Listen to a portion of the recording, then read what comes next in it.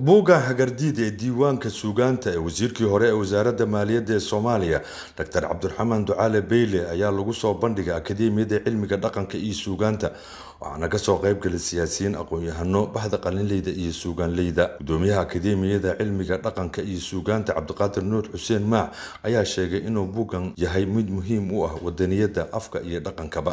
Horta buuggan la yidhaahdo hagardiid macnihiisa waa garanaysaanoo af soomaaliya waxaa weeyaan waa qof diiday hagrasho inuu hagrado dalkiisa. Waatay heesta ahayd ma aqaan ninkii waxaa qaadi jiray fanaankii xasan diiriye hilibkiisi buu cunay nin hagraday dalkiisii.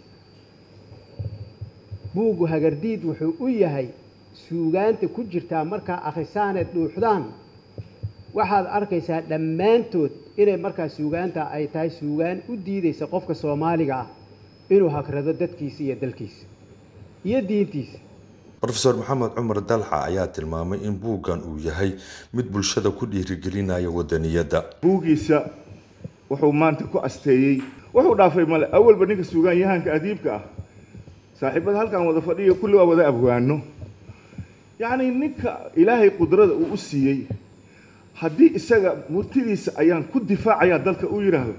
Wasiirkii hore ee wasaaradda maaliyadda ee soomaaliya doctor cabdiraxmaan ducaali beyli oo ah qoraha buugga hagardiid ee diiwaanka suugaanta ayaa xusay in ay jirto sabab igu xambaartay qoritaanka suugaanta buuggan ku jirta. Antani aniga xaggayga sidii ninkii odaygaa sheegay waa waan bartay.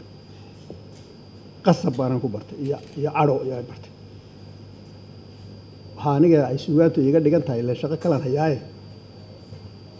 xasuus qor bay iga dhigan tahay xasuus qor. Marka dadku markay shaqooyin badan hayaan ee dad badan la kulmayaan.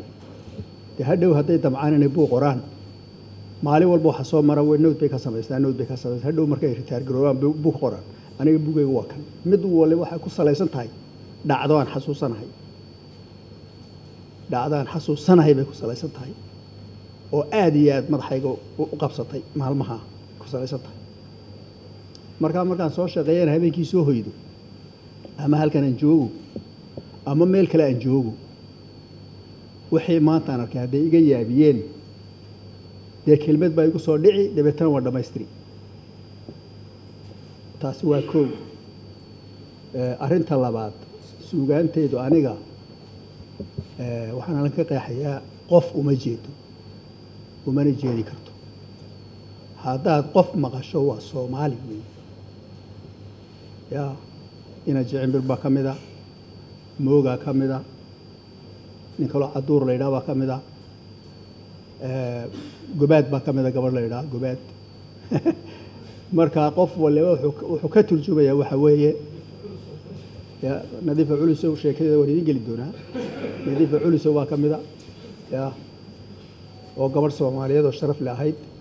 Buugga agardiid ee diiwaanka suugaanta wasiirkii hore maaliyadda ee soomaaliya doctor cabdiraxmaan ducaale beyle waxaa ku jira in ka badan boqol iyo toban maaso oo ay ka mid yihiin heeso caan ah